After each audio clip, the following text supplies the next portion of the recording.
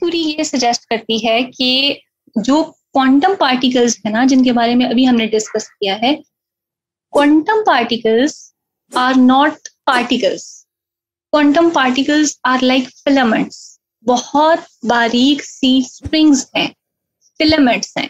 आप एक रस्सी लें, जैसे आपको इसमें शो हो रहा है। इस तरह की एक स्प्रिंग को आप कितनी पैटर्न्स में अरेंज कर सकते हैं? और अगर ये स्ट्रिंग जो है ये वाइब्रेट करना शुरू कर दे तो ये कितने पैटर्न्स में वाइब्रेट करेगी? हर दफ़ा जब ये वाइब्रेट करेगी तो एक नया पार्टिकल प्रोड्यूस होगा। इलेक्ट्रॉन्स के लिए सपोज़ करें कि ये तीन उसमें तीन विंग्स के अंदर वाइब्रेट करती है। ओके सो स्प्रिंग का मतलब है कि हर पार्टिकल जो पार्टिकल जो है वो असल में एक स्प्रिंग है। और स्प्रिंग को बेतहाशा मोड्स के साथ वाइब्रेट करवाया जा सकता ये स्प्रिंग ये जितनी दफ़ा स्प्रिंग जो है ना, जितने मोड्स के साथ वाइब्रेट करेगी तो एक अलग पार्टिकल जनरेट होगा। और स्प्रिंग की डिफरेंट शेप्स हो सकती हैं। जैसे आपको ये कलरफुल वाला इमेज नज़र आ रहा है। इसके अंदर स्प्रिंग की बहुत सारी शेप्स हैं, बहुत सारे मोड ऑफ़ वाइब्रेशन हर मोड ऑफ़ वाइब्रेशन एक अलग पार्टिकल जनरेट करे और हर पार्टिकल जो जनरेट हो रहा है हर पार्टिकल की प्रॉपर्टीज़ डिफरेंट होंगी।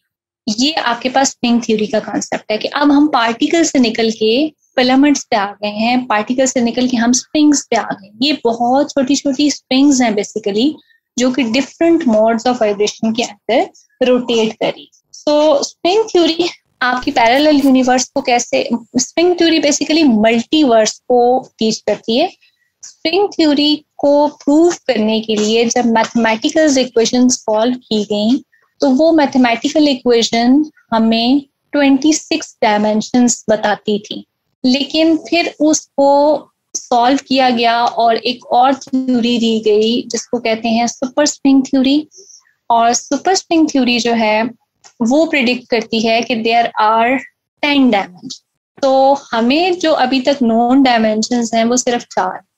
बाकी की छह डायमेंशन कहाँ हैं, इसका हमें नहीं पता। कुछ साइंटिस्ट जो हैं, वो ये प्रिडिक्ट करते हैं कि बाकी की छह डायमेंशन जो हैं, वो हमारी इन डायमेंशन से साइज़ में छोटी हैं। बिल्कुल उसी तरह से जैसे मैंने आपको अभी एक स्ट्रॉ के अंदर एक चूंटी की एग्ज़ाम्पल दी है, और हमारी ये जो डायमेंशन है फोर डायमेंशन है, जो नोन है, वो हमें क्योंकि नज़र आती हैं तो हम सिर्फ़ उन्हीं के साथ सो स्ट्रिंग थ्योरी जो है, वो बेसिकली हायर डायमेंशन या lower dimension whatever parallel ten dimension के साथ डील करती है, वो टेन डायमेंशन जो हैं, वो मल्टीवर्स का कॉन्सेप्ट उनके अंदर आता है कि बाकी की जो, बाकी की जो डायमेंशन हैं they are actually different universe ये डिफरेंट यूनिवर्सेस का कॉन्सेप्ट है मल्टीवर्स का।